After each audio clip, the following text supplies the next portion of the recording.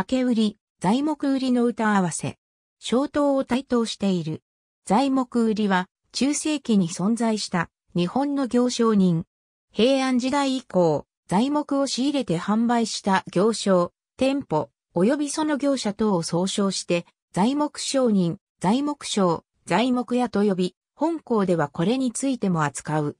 堀川にかかる、現在の一条戻り橋。現在の我が港島と材木座海岸。現在の木津川近代以降の木は、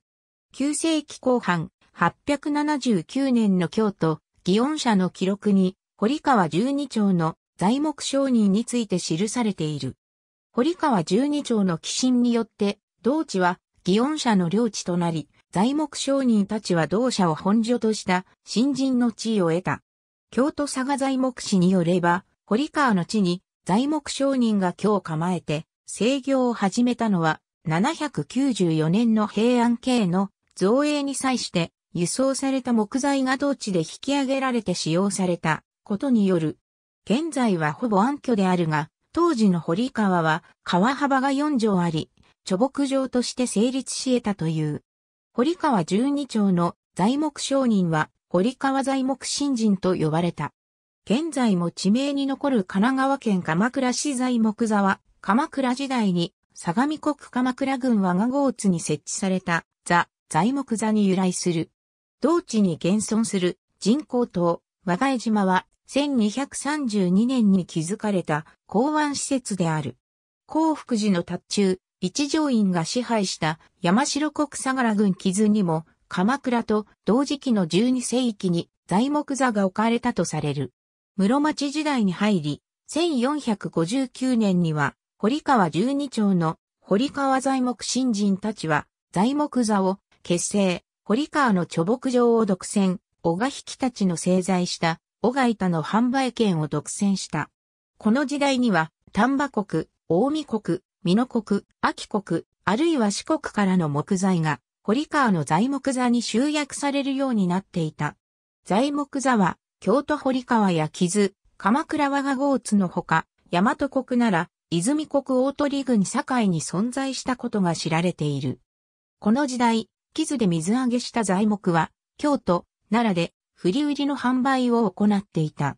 15世紀末の1494年に編纂された32番職人歌合わせの冒頭には、いやし気味なるものとして、竹売りとともに材木売りとして紹介され、袴を履き、板材を束ねる姿が描かれている。同歌合わせは、京都の都市部に見られる職人をピックアップしており、図においてこの材木売りが小刀を台頭しているのは、身分が新人であるからであり、堀川材木新人であることを示している。この歌合わせに載せられた歌は、というもので、吉野材の価値を歌っている。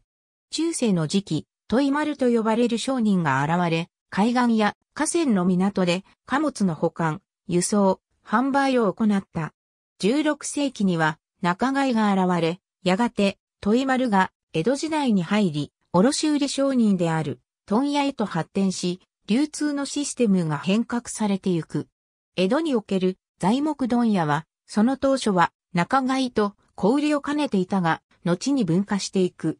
材木屋と呼ばれた小売商店は、製材を行う職人である、小賀院、並びにいかだしを配下に抱えていた。江戸、八丁堀で材木商を営み、関永寺本堂造営への材木提供で財を成した人物が、木の国や文左衛門である。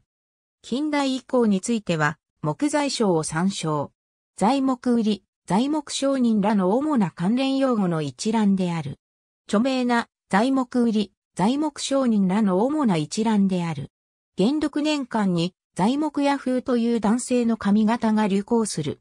これは後頭部で曲げを細く言ったスタイルであった。江戸時代の風俗を記録したことで知られる加藤、エイビアンの随筆、我が衣には、元禄頃、材木屋風なり、筒込みと、運中ぞり言うとあり、特込み頭と同じものであり、頭頂部を反る、中反りのある、元禄年間に流行った髪型であるとしている。特コム刀とは、やはり材木やらの髪型であり、頭頂部を大きく反り、もっといを一寸程度に巻き上げて結んだもので、とっこみ曲げとも呼ばれた。巻き上げる髪の量が多く、髪油で汚れないようにするのが、床屋の技術であったという。林不防の小説、釘抜き藤吉取物覚描きの主人公、藤吉がこの髪型であった。ありがとうございます。